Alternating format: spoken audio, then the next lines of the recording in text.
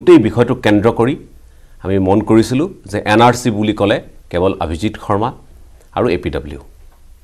কিন্তু নাগৰিকত্ব সংশোধনী আইনৰ এই আইনৰ বিৰুদ্ধে যি সময়ত ৰাজ্যত প্ৰবল প্ৰতিবাদ গঢ় লৈ উঠিছে সেই সময়ত অভিজিত শৰ্মা হওক এ পি ডব্লিউৱে হওক এক যেন এক নিষ্ক্ৰিয় ভূমিকা যেন পালন কৰিছে। তেনেধৰণৰ সক্ৰিয়তা আপোনালোকৰ মাজত দেখিবলৈ পোৱা নাই। এই বিষয়টোক লৈ বিভিন্নজনৰ প্ৰশ্ন যে আপোনালোকে কা সমৰ্থন কৰে নেকি নাগৰিকত্ব সংশোধনী আইন সমৰ্থন কৰে নেকি?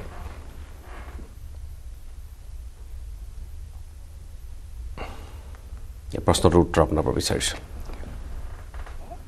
কাৰ সমৰ্থন কৰাৰ প্ৰশ্নই নুঠে কাৰ আমি বিৰোধিতাই কৰিছোঁ আৰু আগতে আমি কৈছোঁ কা বিৰো কা গৃহীত হোৱাৰ পিছত আমি ছুপ্ৰিম কোৰ্টলৈ যাম। কিন্তু আমি একত্ৰিছ আগষ্ট দুহেজাৰ ঊনৈছ আমি খুব হতাশাত ভুগিলোঁ। দহ বছৰ আগত এটা চাইণ্টিফিক ৱেত ছুপ্ৰিম কোৰ্টত এটা কেছ কৰিলোঁ two seven four oblique two thousand nine N R চিৰ আমি বিচাৰিলোঁ যে চাইণ্টিফিক ৱেত ছুপ্ৰিম কোৰ্টে আমাক পৰা ফালৰি কাটিছে। নাই মই নাকাটো মই নাকাটো মই নাকাটো মই নাকাটো। সেইকাৰণে সেইটোলৈ আহিম মই আকৌ। আমি হতাশাত ভুগিলোঁ যে এন আৰ চিত আমাক দিলে কি? সেই এন আৰ চিখনত যেতিয়া আশী লাখত আশী লাখমান মানুহ যেতিয়া সোমালে সি হিন্দুৱে হওক মুছলমানেই হওক বাংলাদেশীক যেতিয়া ভাৰত ভাৰতীয়কৰণ কৰা হ'ল তেতিয়া কিন্তু কোনো মানুহ অসমত ৰাস্তাত ওলাই নাহিলে কোনেও প্ৰতিবাদ নকৰিলে কোনেও আন্দোলন নকৰিলে। তাৰপিছত কে গৃহীত হ'ল? কা গৃহীত হ'ল? ছুপ্ৰিম কোৰ্টত যাম বুলিও আমি ওলালোঁ। কিন্তু ছুপ্ৰিম কোৰ্টত যোৱাৰ আগদিনাখন আমি কি দেখিলোঁ? যে মুছলিম লীগ নামৰ এটা অনুষ্ঠানে ছুপ্ৰিম কোৰ্টত কেছ কৰিছে আৰু কৈছে যে মুছলিমখিনিকো কাৰ ভিতৰত সোমাব লাগে? তাৰপিছত আমি মুছলিম লীগক সহায় কৰিবলৈ ছুপ্ৰিম কোৰ্ট যাম নেকি? সেইকাৰণে আমি ছুপ্ৰিম কোৰ্ট নগ'লোঁ। এতিয়া আমি কৈছোঁ আমি কাৰ বিৰোধিতা কৰা নাই?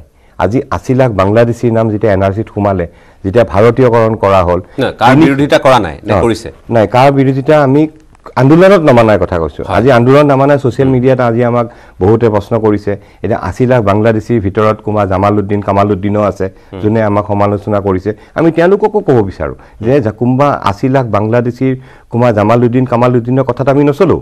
আমাৰ কথাটো হ'ল আপোনালোকে আশী লাখ মানুহৰ নাম যেতিয়া সোমালে তেতিয়া আমি কিয় ৰাস্তাত ওলাই নাহিলোঁ? মই নিজকে প্ৰশ্ন কৰিছোঁ। আজি হাজেলাই তিনিশতকৈ বেছি কোটি টকা মাৰি পলালে। এশটাতকৈ বেছি ছফ্টৱেৰ বনাই পেলাই দুই নম্বৰী কৰিলে আমি কিয় তেতিয়া ওলাই নাহিলোঁ? মই নিজক প্ৰশ্ন কৰিছিলোঁ মই তেতিয়া ৰাস্তাত কিয় ওলাই নাহিলোঁ? এতিয়া আশী লাখ মানুহক ভাৰতীয়কৰণ কৰাৰ ক্ষেত্ৰত আমি আন্দোলন কৰিম। ঠিক আছে মই আপোনাৰ কথাৰ আঁত ধৰি আপুনি আচলতে এটা প্ৰশ্ন এৰিছে সকলোৰে প্ৰতি।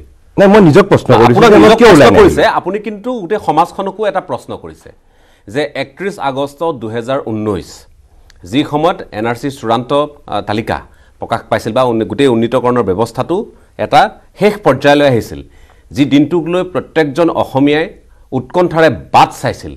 সেই দিনটোত যিটো ফলাফল আমি দেখিলোঁ অৰ্থাৎ ঊনৈছ লাখ লোকৰ নাম বাদ পৰিছিল ঊনৈছ লাখৰ চাৰি লাখে এপ্লাই কৰা নাই। হয় চাৰি লাখে আহ, আৰু আবেদন তাৰ ভিতৰত বহু ভূমিপুত্ৰ খিলঞ্জীয়া কোচ ৰাজবংশী অসমীয়া শৰ্মা কলিতা আৰু ভাৰতবৰ্ষৰ বেলেগ ৰাজ্যৰ মানুহৰ নামো তাতে সোমাই আছে।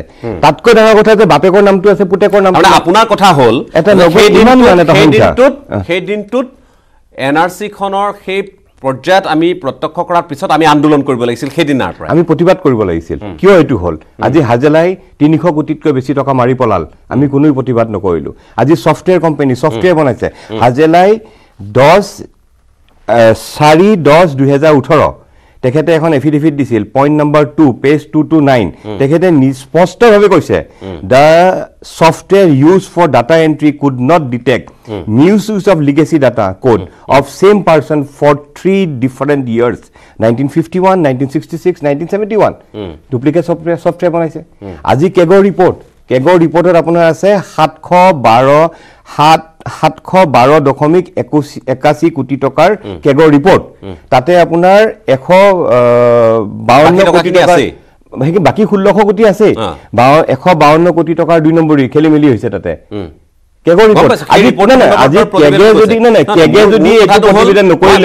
ঘূৰি পকি সেই একেটা বিষয়লৈ আহিছোঁ। অৰ্থাৎ আজিৰ তাৰিখত নাগৰিকত্ব সংশোধনী আইনৰ বিৰুদ্ধে আমি যিমান লোক ওলাই আহিছোঁ যি ধৰণে অসমখনৰ সভ্যতা সংস্কৃতি ভাষা সকলো শেষ হ'ব বুলি আমি আশংকা প্ৰকাশ কৰিছোঁ। আৰু আমি একে সময়তে কেন্দ্ৰক ধিক্কাৰ দিছোঁ। আমি ৰাজ্য চৰকাৰৰ সমালোচনাত মুখৰ হৈ পৰিছোঁ। আমি কাৰোবাক বদন সজাইছোঁ। ঠিক আছে এইখিনি অসমীয়াই কৰিছে কৰিও যাব অনাগত সময়লৈ। যেতিয়ালৈ এই নাগৰিকত্ব সংশোধনী আইন বাতিল নহয়। ঠিক। আপোনাৰ কথাটো হ'ল এই ক্ষেত্ৰত আপোনাৰ দ্বিমত নাই। কোনো দ্বিমত নাই। কিন্তু সেইদিনাৰ পৰাই আচলতে অসমীয়াৰ ভেটি আৰু জাতি ৰক্ষাৰ স্বাৰ্থত আমি আন্দোলনত ব্ৰতী হ'ব লাগিছিল আশী লাখ বাংলাদেশী হিন্দুৱে হওক মুছলমান হওক যেতিয়া এন আৰ চিত নাম সোমালে তেওঁলোকক ভাৰতীয়কৰণ কৰা হ'ল। সেইদিনাখনেই অসমীয়া জাতিটো শেষ। এতিয়া মই এটা বেলেগ কথা